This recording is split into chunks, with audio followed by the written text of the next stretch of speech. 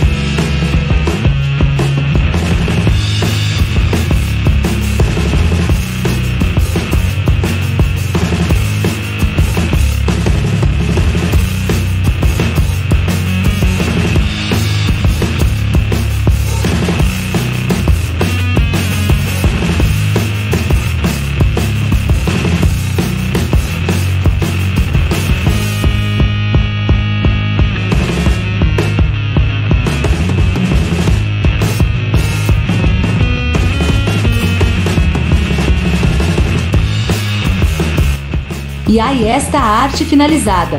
Espero que tenham gostado. Deixe o seu like e compartilhe. Orçamento para transformação de foto em desenho digital. Acesse o link na descrição. Um forte abraço a todos e valeu!